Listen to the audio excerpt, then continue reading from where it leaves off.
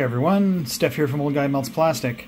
Um, today I'm just uh, recording this video to kind of show you the output I've received uh, after changing my um, 3D printer's uh, slicer settings in the slicer software and uh, just compare the output that I get kind of before and after. So to give you some context, uh, these are two identical models. They're the Voron Design Cube V7.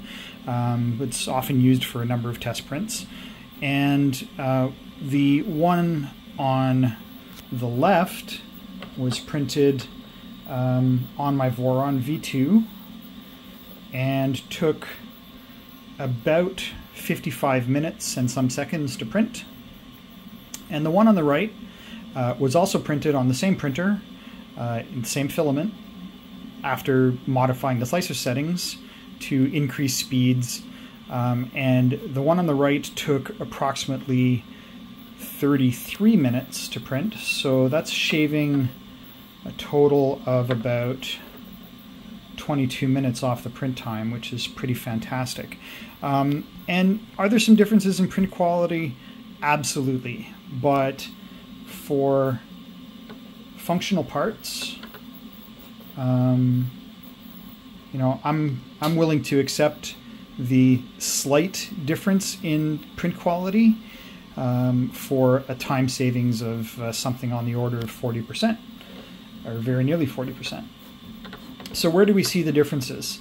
Uh, if you look carefully here on the Y face, um, the indented Y on the left um, is a little bit sharper and more clearly defined. There are a few minor blemishes or print artifacts on the Y on the right. So again, the left was the slower print and the right was the faster print. Um, but other than that, and the same thing with the, the imprint on the X, um, you got a little bit clearer uh, definition in the X on the left part, which did uh, was slower print, and then a bit more definition or a few more artifacts on the right print, which is the faster print. Um, and here's the top surface uh, comparatively between the two. So again, you know, are they perfect? No. Are they pretty good? Yes. Is there a significant difference between the left and the right for a, you know, almost 40% savings in time? Um, I'd argue not really, uh, or at least not as not as much that I would, you know, my eye can notice. Um, and so I'm pretty happy with the changes uh, that I've brought to the slicer profile that I'm using to make my prints. Um, so yeah, I'd uh, love to uh, see your comments, your thoughts uh, in the comments below. Um, also, um, poll the audience. You know, what type of content do you most want to see? Um, what kind of content can I generate for you? Is it more from the bench videos where I'm walking you through how to set up specific hardware or mods?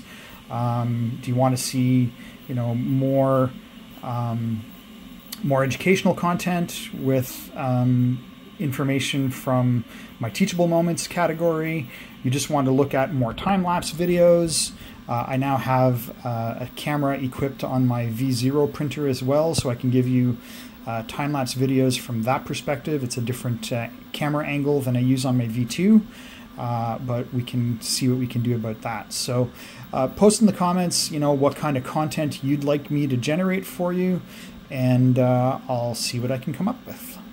Thanks for watching.